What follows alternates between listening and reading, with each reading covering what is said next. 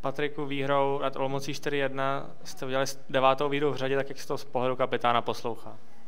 Poslouchá se to hezky a jsem rád, že, že se nám to datí, že tu práci, kterou každý den odvádíme a pilujeme, dokážeme vtěnit do zápasu a, a jsme schopni ty soupeře porážet.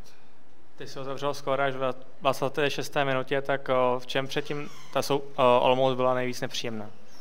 Tak oni hrajou furt houženatě a nám se, nám se těžko, těžko dostávalo do útočního pásma. Když jsme se tam dostali, tak se nám nevedli víc osobní souboje, ztráceli jsme puky a, a oni chodili rychle proti útoku, otáčeli nám tu hru a trošku nám trvalo, než jsme se, než jsme se dostali do toho tempa. Než jsme byli schopní a, si vypracovat nějakou šanci a, a, a nějaký pokyny jsme si sdělili během druhé přestávky, nebo první přestávky v kabině a, a myslím si, že v té druhé těchně jsme na to navázali líp. Či myslíte, či myslíte, že se ten zápas zlomil?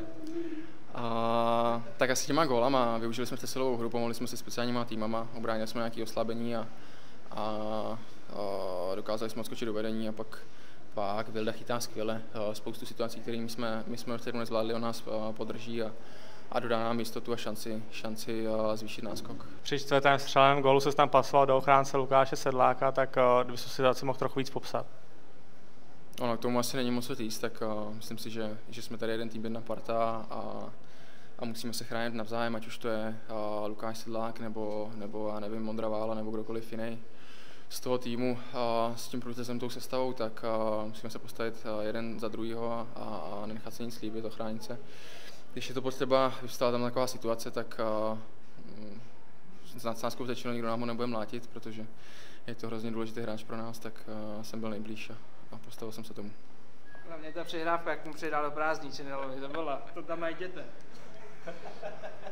Můžete překonat uh, bodový rekord v základní části, tak uh, bojíte se třeba o tom trochu v kabině, nebo vůbec tady, tady ty slova nepadají?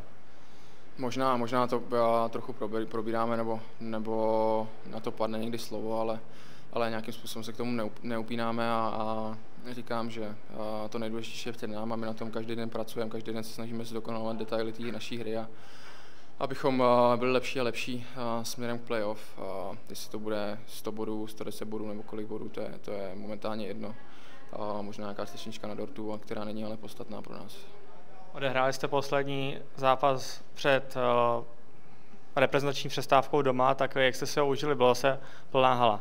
Atmosféra byla skvělá, fanoušci nás ženou dopředu. Uh, je to náš šestý hráč, my jsme jim hrozně vděční za to, že chodí v takovém mnohem počtu a, a podporují nás. A, a to pro nás obrovská, obrovská spruha v těch nějakých horších chvílích v tom zápase a, a slyšet za sebou ty lidi. Tak je to fantastický s nima pak moc oslavit tu víru. Pořiď si zdarma novou platební kartu HC Dynamo Pardubice k účtu ČSOB s bonusem 1000 korun při založení online.